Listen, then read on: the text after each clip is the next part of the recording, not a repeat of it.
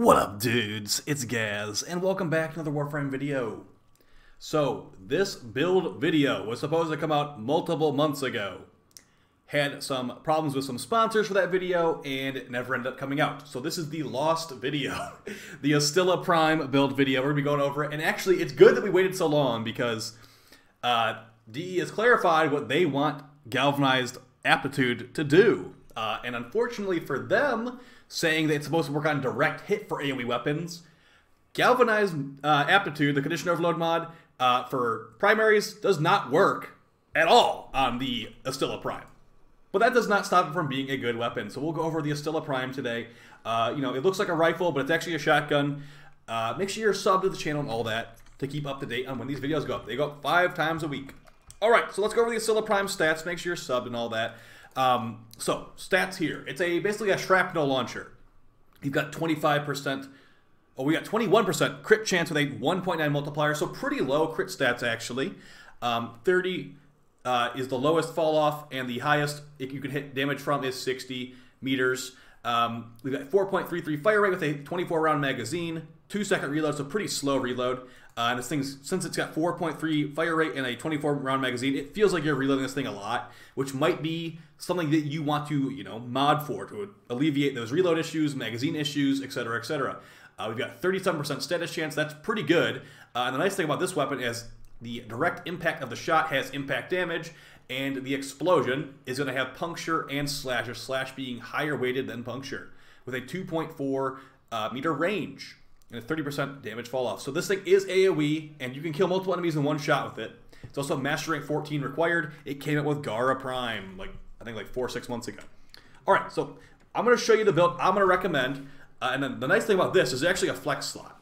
So since Galvanized Savvy, that's what the shotgun one's called, this does not work on either the direct impact, see how it says direct damage right there? Does not work on the direct impact of this weapon or the AoE explosion. So as far as I'm concerned, DE has failed at making this mod work properly after they changed the description of how it works. So, uh, yeah, that's unfortunate. I'm not sure. Like, like I said, the reason we didn't really want to test this that much because it's a lot of work to test these mods on every single weapon. Because like, why is it randomly not working on the Astilla Prime? Who knows? I don't even think DE knows why it doesn't work, which is why we probably will never hear about this mod ever again. But it does not work on here, so don't use it.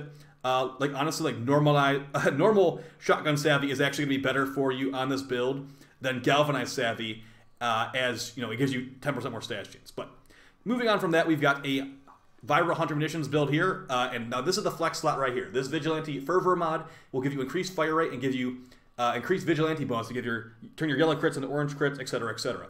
With this build, we have 63% crit chance. If we were to proc Arcane Avenger, that gets us over 100% crit chance. And trust me, guys, getting over 100% crit chance on this Astilla Prime makes it a monster. It really, really good.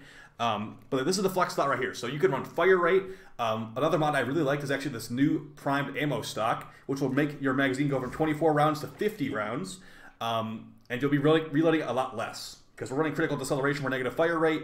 You can fire this thing off for a long time with prime ammo stock. Um, running primary merciless to give us increased reload speed um, and ammo maximum. So you don't really need to run prime tactical pump, but some people might like that for very, very fast reload. And there's other options as well. But I went with Vigilante Fervor. Feels nice to have a little bit of fire rate on here. Um, and you could maybe go with Heat Mod. If, if Galvanized Savvy actually worked on this, I'd consider maybe running a Heat Mod.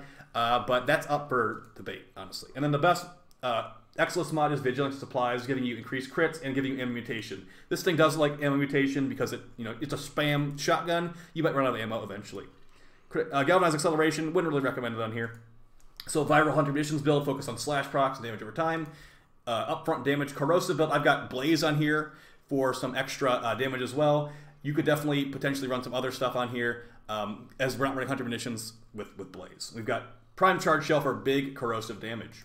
But we're going to run 60-60s on the viral HM build just to get more viral procs. All right, so unbuffed, there's literally nothing on us right now that will be buffing the damage. We'll go to a buffed up damage test here in a little bit too, and show some Steel Path gameplay. So no companion, no nothing. The Vigilante uh, set bonus we have on there is a two set, and we'll summon in some Grineer. This is going to be the viral HM build. All right, so let's get a little bit closer to them actually, so we can uh, see what we're shooting at.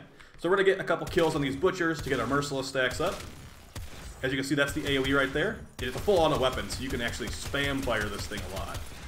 Alright, we got about 10 Merciless stacks. Should be good enough for a one-shot. So, 94k. Uh, with no buffs at all. So now it's not a guarantee to get these big damage numbers with that 63% crit chance, but it technically can happen, and you know it is a pretty powerful weapon when you mod it like this. So 30,000 on that, that gunner. Remember, we have a Bane of the uh, Grineer here, very good against Grineer enemies, especially if you're going for a headshot. Let's do a body shot, see how the AoE damage over time is looking. So you can fire in their general direction, they'll eventually die, but it's not going to be like those 100,000 slash procs you're just seeing there. And remember, guys, that's unbuffed. That's no outside buffs at all. Let's show the corrosive upfront damage build, which is actually surprisingly powerful. Like, I was very surprised at how strong this upfront damage build was. And, um, yeah, I'm actually really enjoying this, the Astilla Prime. It is not a meta weapon. I will tell you that. It is not a meta weapon, and especially the fact that Galvanized Aptitude does not work properly kind of hurts it a lot, actually. Um, if you're not running the primed charge shell, you're losing about 5,000 damage on a yellow crit. Alright, let's get a couple more kills here. We're at a couple galvanized stacks. Now let's see if we can one-shot this heavy gunner. With upfront damage, almost one-shot her with zero outside buffs. So, yeah, very, very powerful. Um, let's do some body shots on the next couple. So, yeah. These bombards are actually not weak to corrosive, so let's see how that goes. Not doing as good against the bombard. But honestly, for body shot damage, that's not too bad either. So, yeah, pretty good um, status potential. It's a shame about Galvanized Aptitude. Uh, I, I, I just I don't even know what to say at this point. Like we've waited four or five months for it to get fixed. Instead of it being fixed, it, be, it became this is how it was supposed to work the whole time. Uh, and you know it's it's still not even working on direct hits like it's supposed to. So should we just give up? Is, is it just going to be a crappy mod? It just doesn't work? Okay, fine.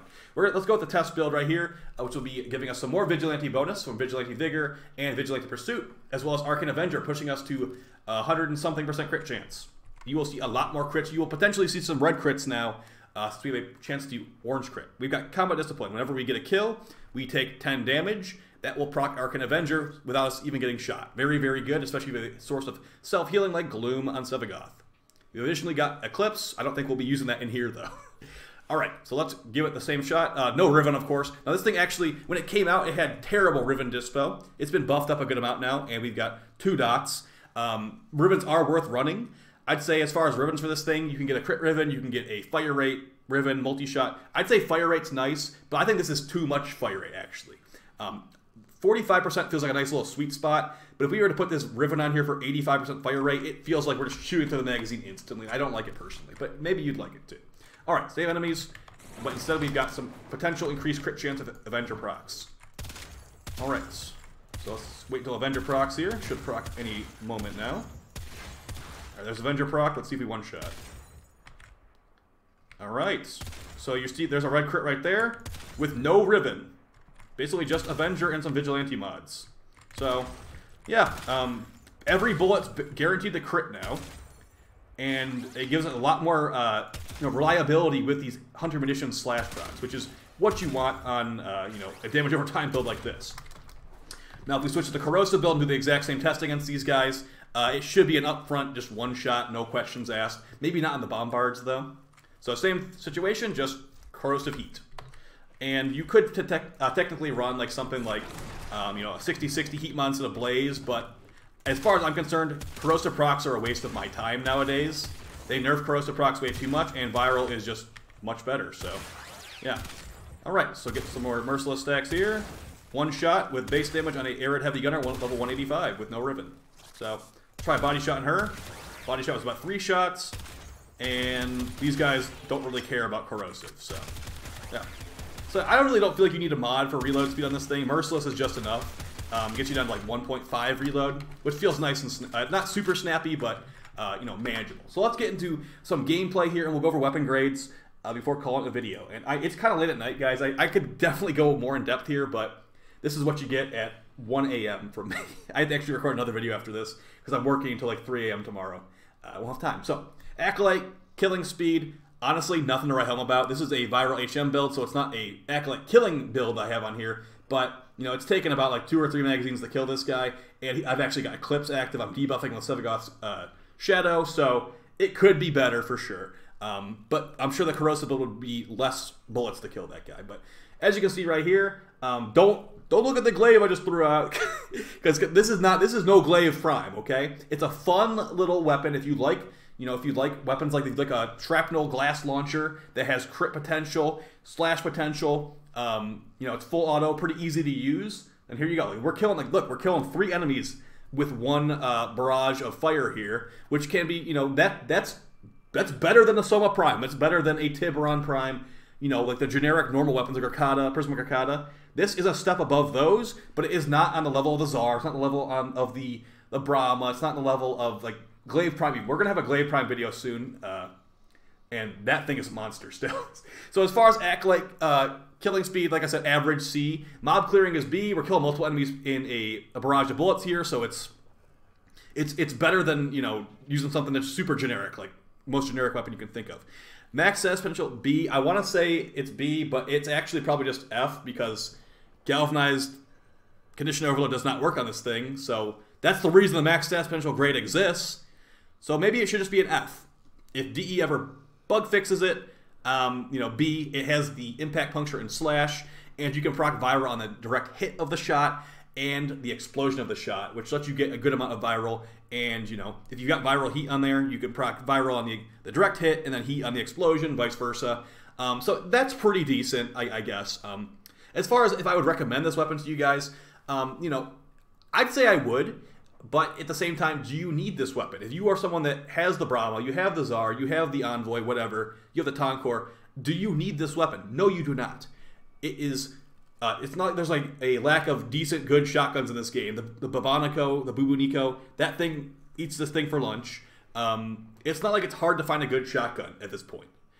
So it's gonna be up to you. Do you do you think this is fun? Do you like the sound effects of this weapon? It has great sound effects. It has pretty good visuals.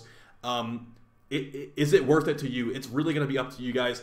I like having it. I don't really, I don't use it super often, but I will pull it out sometimes just, you know, to have some fun.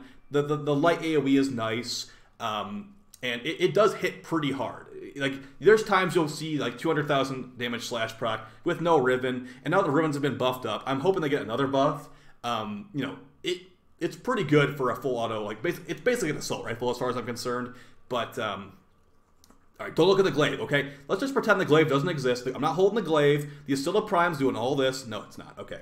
Um, either way, guys, hopefully you found the video helpful. I wanted to get this video out a while ago, uh, and it's really a shame about Galvanized um, Savvy. That's what the shotgun one's called. Galvanized Savvy. I don't know why. It, it, as far as I'm concerned, it should be working on direct shots. Like, why isn't it not working? Um, we, I don't think we'll ever get an answer on that because DE is focused on New War. You know why everyone shut up about Yareli?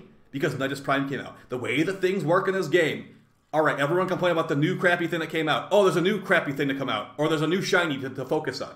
That's I, I, called it. I'm like, as soon as Nidus Prime comes out, people will be distracted by Nidus Prime and not talk about Yareli. Yareli is still trash, okay?